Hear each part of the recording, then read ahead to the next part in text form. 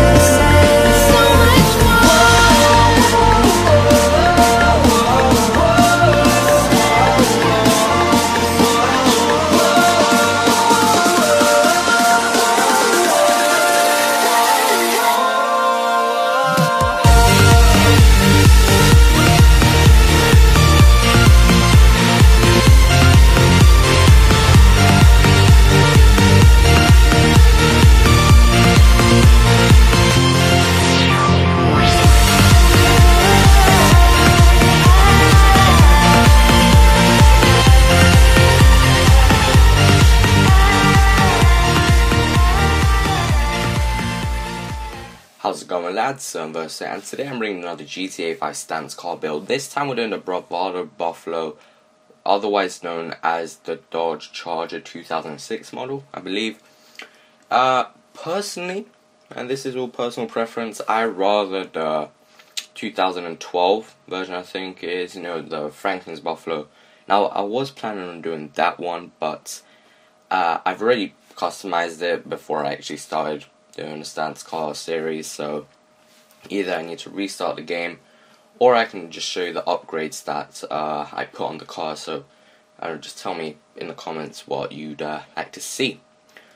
But um, you know as I said I do prefer the 2012 uh, model of the Charger in this game but you know this one isn't bad. It does have you know some nice angles and uh, stuff like that now I didn't go with any body kits simply because I didn't like the way they looked. You know, they were just a bit pointless, I guess you could say.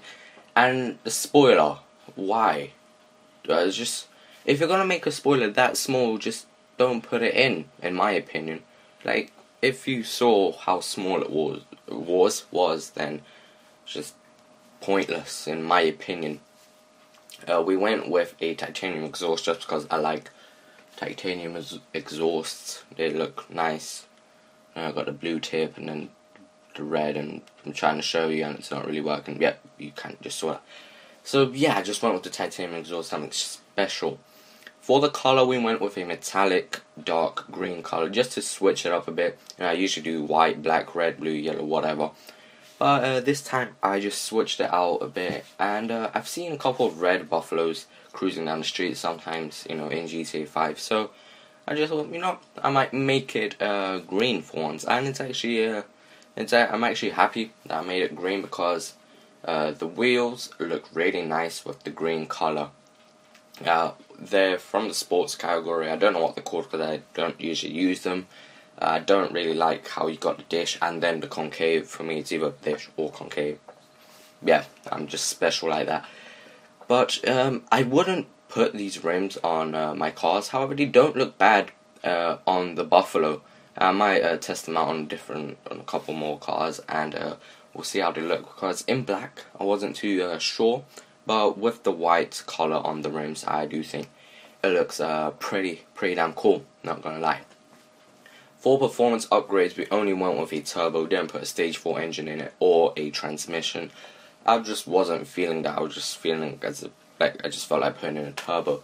And uh, we went with street brakes and we just tinted the windows as we usually do.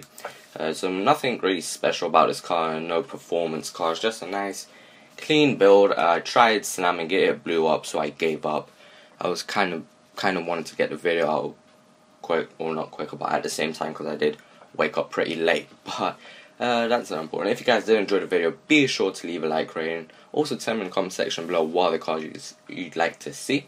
Uh, I'm thinking I have one car I need to do uh, for Travis. He asked me to build one car, so I will definitely do that for him tomorrow because I was actually looking for one, but I couldn't find it, uh, and I didn't feel like wasting money on it. So, yeah. Um, but tell me what car you'd like to see on Monday. And uh, yeah, I'll catch you guys in the next one. Take it easy.